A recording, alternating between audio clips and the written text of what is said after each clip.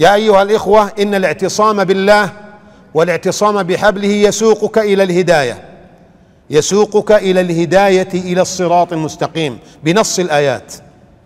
بنص الآيات. ومن يعتصم بالله فقد هدي إلى صراط مستقيم.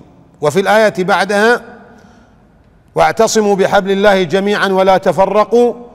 في آخر الآية قال الله كذلك يبين الله آياته للناس لعلهم يهتدون. هذه هي الهداية. وفي آية أخرى قال الله جل وعز يا أيها الناس قد جاءكم برهان من ربكم وأنزلنا إليكم نورا مبينا. فالذين آمنوا بالله واعتصموا به فسيدخلهم في رحمة منه.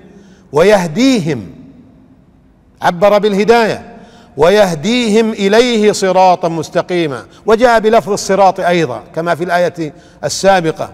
فنتأمل مثل هذه الآيات ونعلم أن النجاة الحقيقية من هذه الفتن في هذا العاصم الثاني وهو الاعتصام بالله والاعتصام بحبله.